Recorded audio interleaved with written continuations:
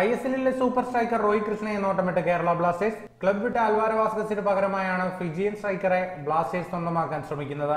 കഴിഞ്ഞ സീസണിൽ A T K Mohan Bagan താരമായിരുന്നു കൃഷ്ണ. ബ്ലാസ്റ്റേഴ്സിന് പുറമെ ബംഗളൂരു എഫ് സിയും ഈസ്റ്റ് ബംഗാളും റോയ് കൃഷ്ണൻ രംഗത്തുണ്ട്.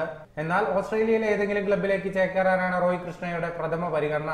രണ്ട് പോയിന്റ് ഒമ്പത് ഒന്ന് കോടി രൂപയാണ് സെന്റർ ഫോർവേഡായ കൃഷ്ണയുടെ വിപണി മൂല്യം. എ ടി കെ മോഹൻ ബഗാന് വേണ്ടി അറുപത്തിയേഴ് മത്സരങ്ങളിൽ മുപ്പത്തെട്ട് ഗോളുകൾ നേടിയിട്ടുണ്ട്. കഴിഞ്ഞ സീസണിൽ ഇരുപത്തിമൂന്ന് കളിയിൽ ഒൻപത് ഗോളുകൾ നേടി. ന്യൂസിലാൻഡിലെ വെല്ലിംഗ്ടൺ ഫിനിക്സിൽ നിന്നാണ് മുപ്പത്തിനാലുകാരൻ ഇന്ത്യയിലെത്തിയത്.